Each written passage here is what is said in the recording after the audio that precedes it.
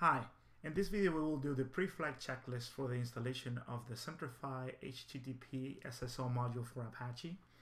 And all it does, it extends uh, the native authentication mechanisms of Apache to provide uh, basically Kerberos or NTLM authentication, or basically what is called uh, Windows Integrated Authentication uh, to non-Windows platforms leveraging Centrify.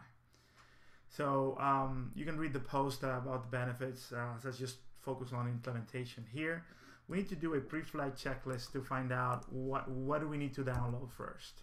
So in here, what I'm doing, I'm using um, you know my CentOS 6 um, uh, platform here.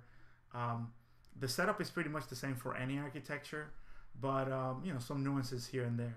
So what I need to capture is a the OS version. As you can see, I, am running CentOS. Um, what is the um, the Apache version? Um, I'm basically running, um, you know, Apache 2.2 here in the architecture 64-bit. Uh, my agent is the 5.2 agent for uh, Centrify. And uh, notice that me my HTTPD daemon is stopped. That means I need to start it. So um, let me go ahead and, and, start it. So that we will need easy do uh, service HTTPD start and this should start um, uh, the HTTP daemon.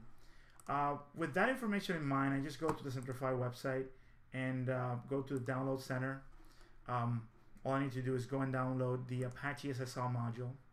In my particular case, because I'm using CentOS 64-bit, um, here it is. This is pretty much the file that I need.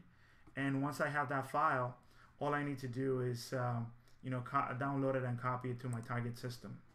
Another thing that I want to make sure is that from the browser, and I'm going to do the testing, that I can actually reach um, uh, the the site that I'm trying to find. So in here, um, uh, you know, I'm using Internet Explorer for this testing. We'll do some Firefox at the end.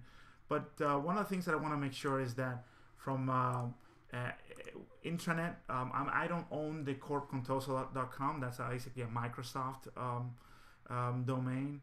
But we need to make sure that we understand what we're doing here. We need to make sure that when it comes to security, for the browser to be able to negotiate SPNEGO, um, we need to make sure that the uh, uh, the FQDN or basically the, the domain suffix, the Kerberos domain um, that we're going to be using is uh, in the local intranet or in trusted sites. And that's pretty much it. So I can access the server, service running, I got the, the, the file and uh, we'll, next video is going to be with setup, okay?